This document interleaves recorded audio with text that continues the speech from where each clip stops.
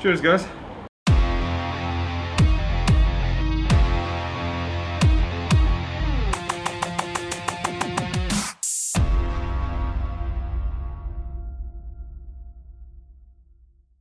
Hey guys, welcome to a beautiful sunny edition of the balcony sessions where I'm actually justified for, for one time to, to wear my sunglasses. Um, yeah, the last few days and the last few videos I've seen some some really really good questions being being asked and so I thought it's the perfect opportunity to grab a beer with you guys and just we can have a chat. I'm just gonna actually go over over one question today that, that came up um, because it also sparked uh, a really good answer from one of you guys out there and I just want to talk about that a little bit and uh, get a little bit deeper into it just in case you missed it. a little bit bright there? How's that? Any better? Anyway. Um, so, uh, Daniel O asks, asks, Hi man, can you explain if it's worth to buy H&M raw selvage denim for like $50 or less? Is it still done in vintage soft looms? Is it still made of cotton? Uh, what makes them worse than other expensive denims, if they are? Um, please answer, I really need to know. So, very good question, um, and it was answered extremely well by Jeremy. Um, so, I'll just read this out in full. It definitely will be the best pair of jeans from H&M and possibly one of the best pair of jeans for that price. I have no experience with them, but Selvage does indicate some level of quality, which is very true actually. Uh, they'll not have nearly the quality materials or quality control of a dedicated Selvage denim brand. At best you're getting something on par with Levi's. They're made with shuttle looms, but probably not vintage ones, and mass produced. Okay, so that's the first paragraph. It goes on for two more, which um, I'm going to get to in a second. But I just want to want to dissect a little bit of this. Uh, right, Jeremy is bang on with with everything he says here. Um, they're definitely not going to have the same quality materials, not even close. And to even what I'd say, what I'd call entry level jeans, which are Selvage denim jeans that are starting around about the 100 euro mark, 100 dollar mark. I think and if you're paying anything less than that, then you've got to question what shortcuts have, have taken place to actually get the jeans produced. That's going to be either on the materials, um, so that's including the cotton, the denim, woven out the cotton obviously, the dyeing process, the actual hardware that's going on to it, and also how they've been produced and where they've been produced as well. Now that isn't to... God, sorry. The weather's changing all the time here and it's getting incredibly hard to see if you can actually see me or just looks like a nuclear blast. Anyway, where was I? Yeah, production of cheaper selvage denim jeans.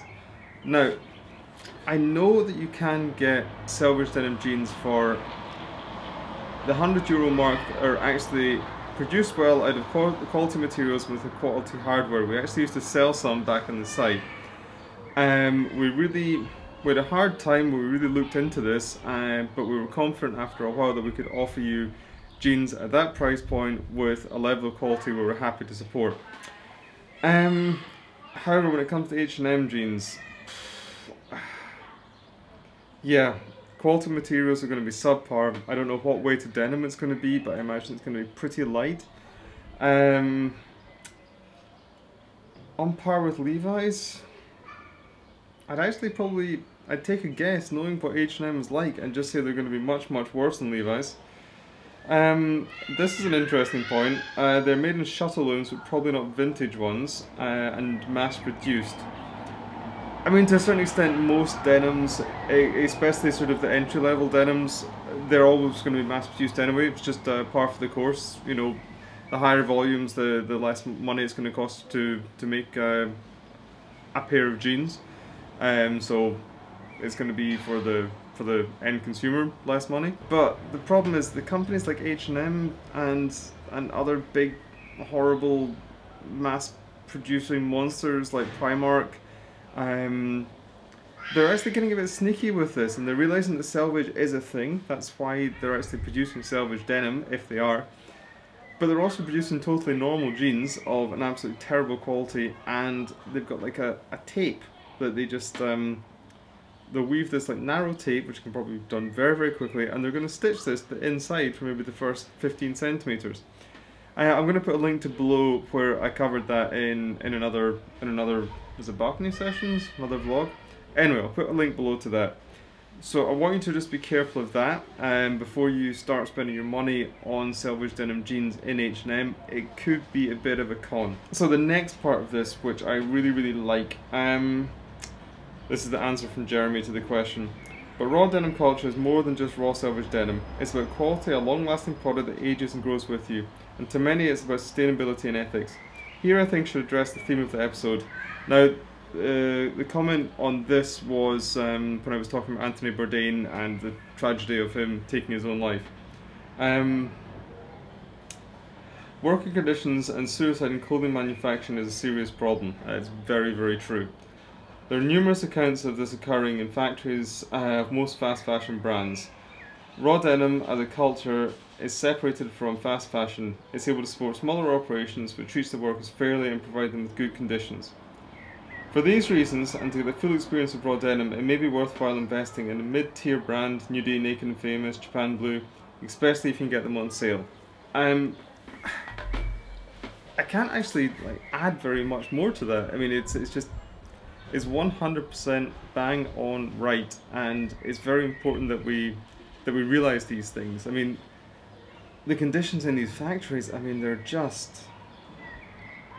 I mean, it's hell on earth. I don't think that that we over sort of in the West could could even imagine imagine those conditions existing.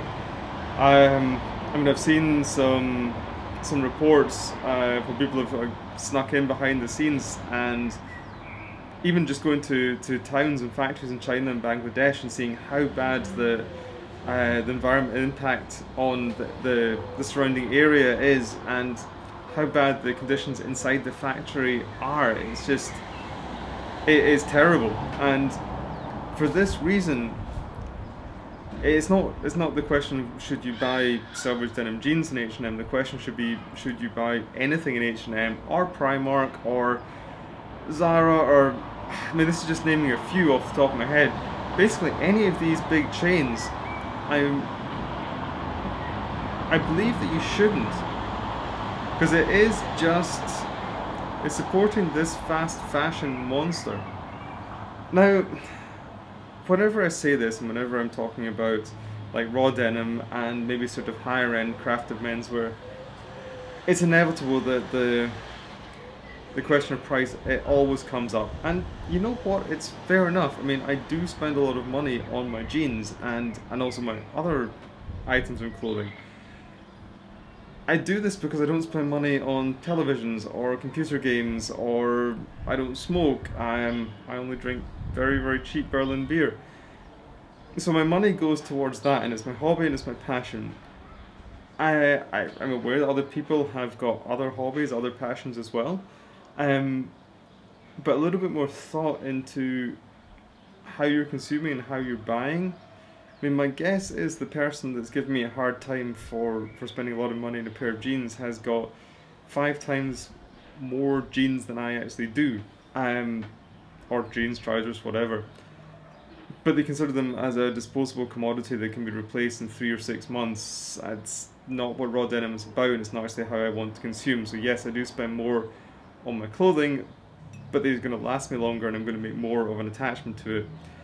And that point that Jeremy had about sustainability, that's always been something that's been, when I grew up with that, I won't say my parents are hippie, but they were, um, they were certainly very concentrated on the environment. Um, and it was always, it was a theme of conversation in my household before, um, before I actually sort of got into the, the vernacular that it is today.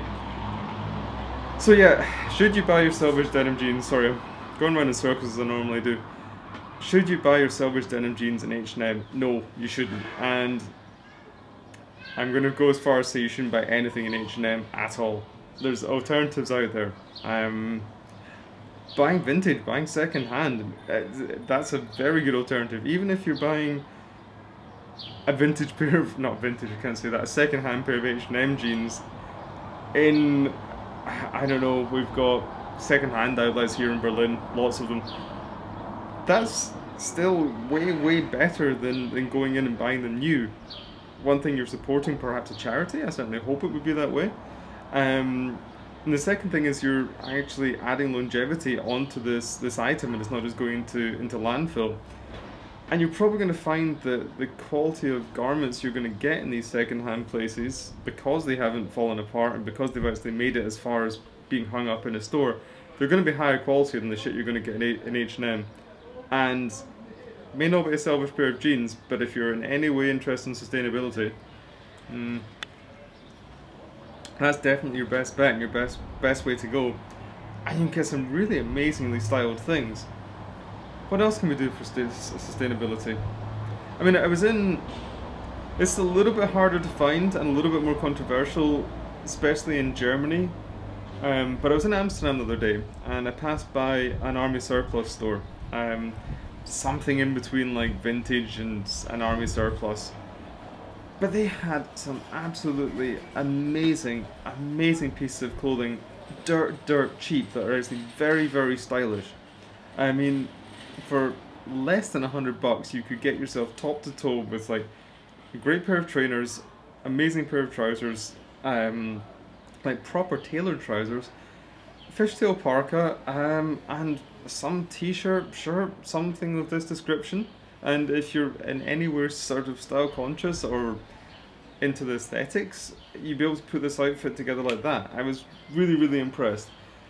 I am aware that the military aesthetic doesn't work for everybody and it's sometimes with kind of like more negative connotations here and there, but that's also another way to to buy sustainable um, if you're not wanting to like completely break the bank. But yeah, we've got a little bit further away from the topic. Um, the last point is, I mean, yeah, you can get a, a brand new, not on sale pair of decent quality selvage denim jeans for around about 100 euros. I believe unbranded. Uh, they're made by the same guys that make the Naked and Famous jeans. They're around about 100 bucks. Um, I hope they still make them. I've not seen them a, a while for like 30 40 bucks more you're into naked and famous territory uh, nudie territory as well fantastic jeans um, like a few bucks more you're you're onto Japan blue I mean that's like proper Japanese denim it's it's cut for for the European figure. They're just they're brilliant jeans as well.